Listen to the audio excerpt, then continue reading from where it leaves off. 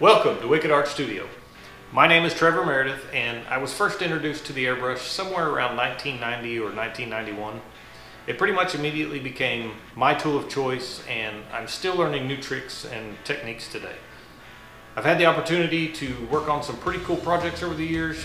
I love what I do, and I love to show others how I do it. So whether you've just picked up an airbrush for the first time or you're a seasoned veteran, I want to help you take your artwork to another level. So if you like what you see, please like, subscribe, and share.